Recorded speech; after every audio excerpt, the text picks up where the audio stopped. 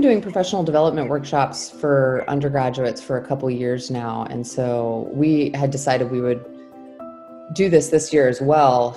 And when COVID 19 pandemic happened, I think we were actually thinking along the same lines separately before we came together. Because when we came together, we almost all had the same idea we have to continue this. We want to do this virtually.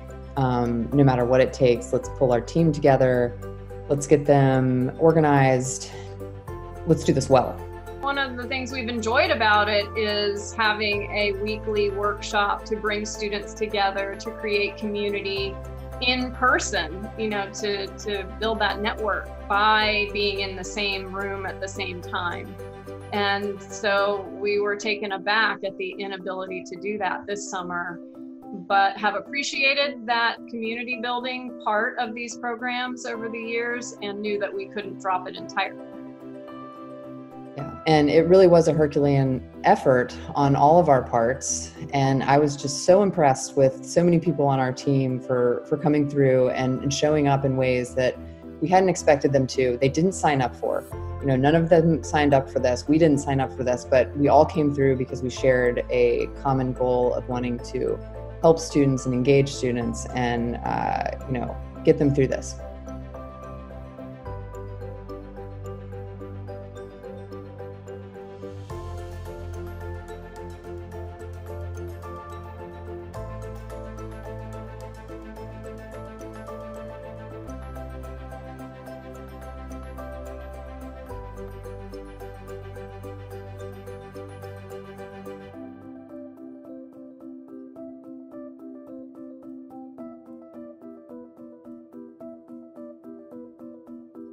For me coming into it uh, for the first time, I think it's really opened up so many more avenues, specifically in research that I didn't even know existed. For example, like um, like ResearchGate or like these different social networks specifically tailored for academic research, and just really helped me um, hone my writing skills that I was severely lacking, to put it simply.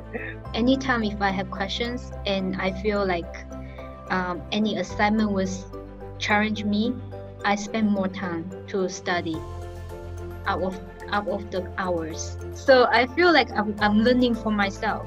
Isn't isn't really not like a work, and I appreciate the opportunity. And it's it's a great, amazing experiences.